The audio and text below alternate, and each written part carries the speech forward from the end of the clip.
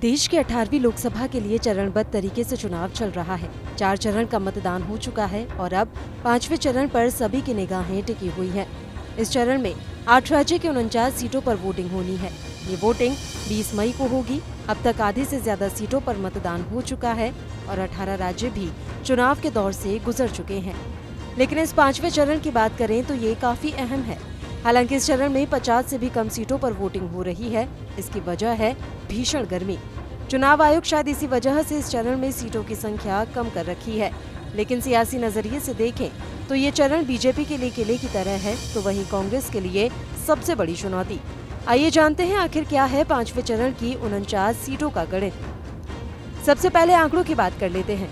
20 मई को पाँचवें चरण की वोटिंग में आठ राज्यों की उनचास सीटों पर मतदान है, जिसमें छह प्रत्याशियों की किस्मत दांव पर लगी हुई है।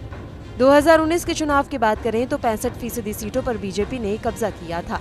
पाँचवें चरण में 14 सीट उत्तर प्रदेश की हैं। पाँचवें चरण का मतदान कांग्रेस के लिए सबसे बड़ी चुनौती है, क्योंकि बीते चुनाव, यानी 2019 में, कांग्रेस को इन उनचास सीट में से सिर्फ़ एक सीट पर जीत का स्वाद चखने का मौका मिला था।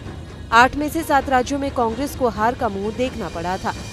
ऐसे में इस बार अगर इंडिया गठबंधन केंद्र की सत्ता पर काबिज होना चाहता है तो कांग्रेस को इस चरण में बेहतर प्रदर्शन करना होगा।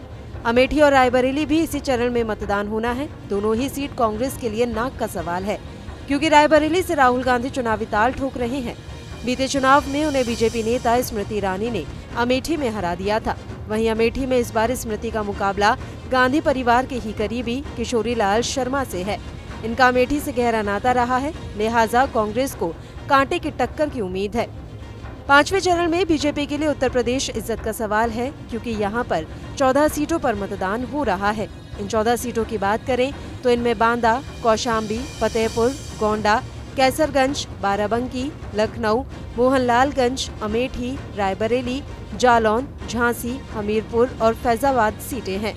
इन चौदह में से तेरह सीट पर बीजेपी जीत का परचम लहरा चुकी है। ऐसे में इस बार बीजेपी के लिए ज़रूरी है कि इन सभी सीटों पर जीत बरकरार रखे, बल्कि बची हुई एक अन्य सीट रायबरेली को भी अपने पाले मिला सके। पाँचवें चरण की आठ राज्यों की उनचास सीट के गणित की बात करें तो इसमें बीते आम चुनाव 2019 में सबसे अच्छा प्रदर्शन भारतीय जनता पार्टी का रहा। बीजेपी के लिए ये चरण एक किले की तरह है, क्योंकि इसमें पार्टी ने कुल सीट का पैंसठ फ़ीसदी हिस्सा कब्जे में कर लिया था। बीते चुनाव में बीजेपी ने यहाँ बत्तीस सीटों पर जीत दर्ज की थी। चार राजनीति दलों ने इस चरण में सिर्फ़ एक सीट पर ही जीत हासिल की। इसमें कांग्रेस, जेडीयू, एलजेपी और नेशनल कॉन्फ्रेंस शामिल है।